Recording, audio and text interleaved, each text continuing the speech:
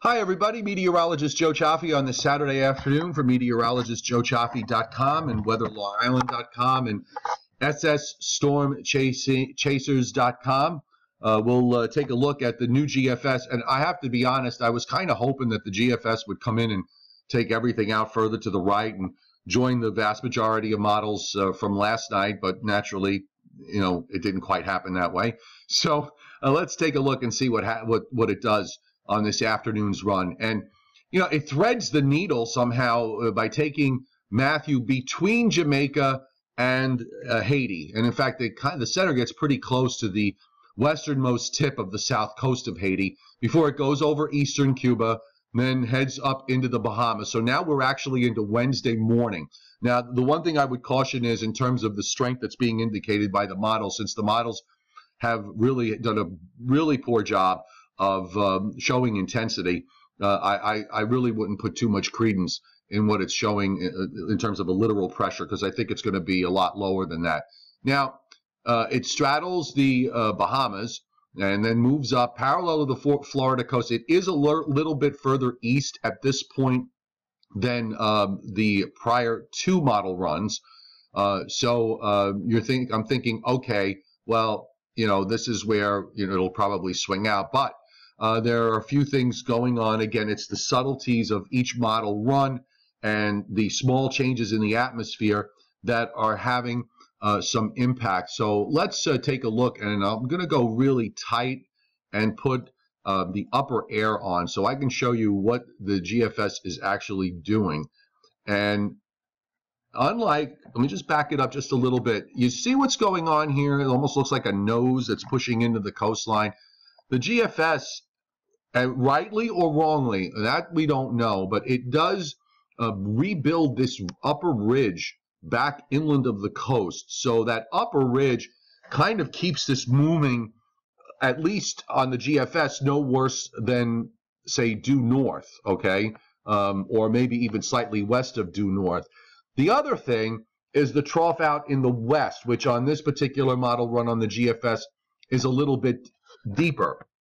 In other words, a little bit more intense, uh, a little bit more north-south oriented in a sense, as opposed to being oriented um, south, uh, nor northeast to southwest, which it is, but um, the orientation's tilted a little bit more than it was on the prior runs. So, you know, that being said, what happens is uh, it takes the hurricane and then kind of straddles it right over the outer banks of North Carolina, uh, exiting it uh, just touching easternmost North Carolina. But you can see at this point, there's your uh, your trough.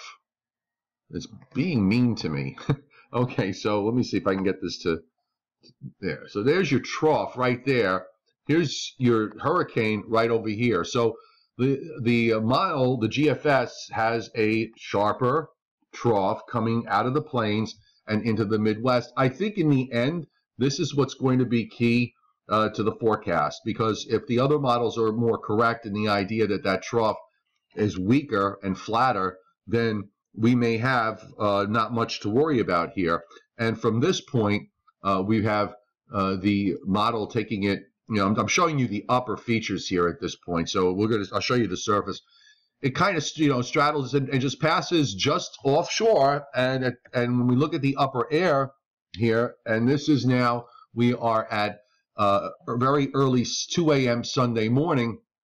There's the axis of your trough. It's actually captured uh, the uh, hurricane or whatever form it is, and I want to bring that up because um, we may wind up seeing this just transition. I think if it if it really winds up doing this, because I'm not sold by uh, on it, uh, but if it really winds up doing this, we may see it transition over into a non-tropical storm uh, at some you know at some point because the water temperatures north of Cape Hatteras, north of 35 degrees north, are well under 80, and in uh, in fact they've already cooled up to the upper 60s, middle and upper 60s near our shoreline. So uh, we're going to have to this thing's going to have to move like a rocket ship to maintain a maintain a certain amount of intensity.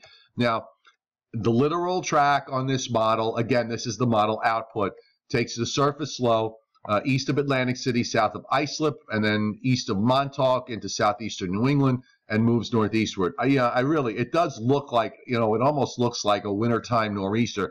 And I have to tell you, if this winds up happening like this, it may not be, um, you know, it's not like you're taking a direct hit. And we, you know, if, if this were to move parallel to the coast north northeast, we would get rain, gales. It would be like a really, really bad nor'easter, but uh, it would not have um, the hurricane type impact where you take a, a, hurricane that actually makes landfall and then you deal with, you know, uh, the tidal tidal surges and that kind of thing. I mean, you would deal with all you know tidal flooding, beach erosion, and everything else in, in this sort of scenario. But this is not a worst case scenario uh, if we wind up taking if this winds up being right. And I'm not saying that it is. Um, I'm just wanting wanting to point that out. You're never going to see a Category Five or a Category Four hurricane up here. A Category Three is rare. The physics of the atmosphere just would not, and the thermodynamics in the atmosphere just would not support um, a, a, system that strong. So I want to take a look at the upper air uh, a little bit more because that ultimately is what's going to be important here. And we'll just back it up the key is going to be that trough in the west, right back through here. Okay, that really is going to be the most important feature. Is is there going to be something crashing into this ridge right over here? Is there something that's going to be crashing into this to make this system weaker and less important? Um, the, the model today uh, kind of has a fairly decent trough running down the middle of the country. Uh, it, it doesn't, you know, it crashes it to some degree, but it holds on to that trough and then it swings it up and around. I mean, if this is if this is the case and it times out exactly correct, then the GFS may may be right. But if uh, the timing is a little bit different, if this is faster, if this ridge is a little weaker, then you're going to be much more offshore, just like the other models did during the overnight. So that pretty much sums up what we're seeing here. Uh, I, it, it's not a huge change really from the prior runs. It's just kind of doing these shifts back and forth, back and forth. Uh, what I'm going to do later on this afternoon, uh, I will post on meteorologistjoecioffi.com and on ssstormchasers.com. I will do a GFS model, European model comparison, and you can take a look at that and um, we'll see what the European does because the European does have a much flatter look here uh, and has held on to that idea, uh, which would take something out, you know, well to the south and east of us. And the Canadian model last night kind of did the same thing. So, and, and in fact, when I looked at the ensembles and several other models of the hurricane plots, I mean, very few of them brought them that close to the coast. It just seems like the GFS up until now has been is being kind of an outlier here. But let's see what happens later today. And we still have to deal with a Category 4, almost Category 5 hurricane uh, in the Caribbean that's going to start its turn. And by the way, yeah, let's take a look uh, at that, and we'll give you the latest loop here. Uh, the, the eyes become a little bit on the ragged side this morning. You can see it there. Uh, it's flaring up, and it might be doing the eye wall replacement cycle moving you know looked like it looked like it was moving west now it looks like it's moving either doing a loop because uh, it looked like it, it, it's actually turned a little south again. So I, you know, we'll see what happens. Sometimes the uh, motion can get erratic when a system is slowing down and getting ready to turn because we are going to expect this to turn to the right uh, in short order. Let's uh, look at the uh, infrared picture and see how the eye shows up on this. And you can start to see it sort of reforming after clouds over, just starting to reform again. And it is definitely looks like it's taking, uh, you know, at least it seems to be turning to the uh, to the southwest again over the last couple of frames. And here it is on the wider view, um, and you can see it here once it refreshes, and you know, just kind of churning along. There's our trough in the Gulf of Mexico uh, with these clouds uh, moving south to north. So it's getting very close now to that weakness where it should start to turn.